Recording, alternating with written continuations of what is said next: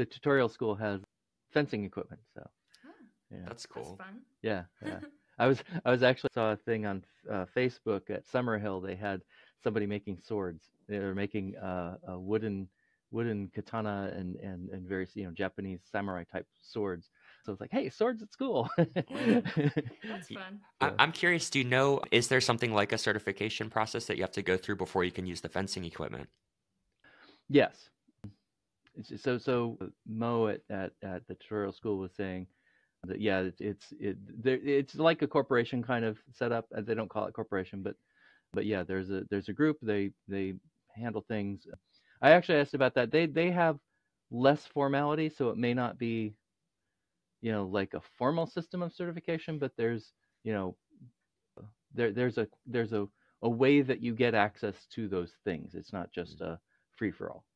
Um, That makes so, sense. yeah, yeah, yeah. That's it, that's another interesting thing is the variations in level of formality is you know all over the board, uh, and so it just depends on you know I think a lot of it is size of community. Uh, tutorial school is actually pretty small, so it's it's not uh, it doesn't require much formality, and it, it just also might depend on history and and how how things came about. So uh, Mhm. yeah, yeah, Um, probably personality of the founders, right. sort of m- stage of maturation in the organization.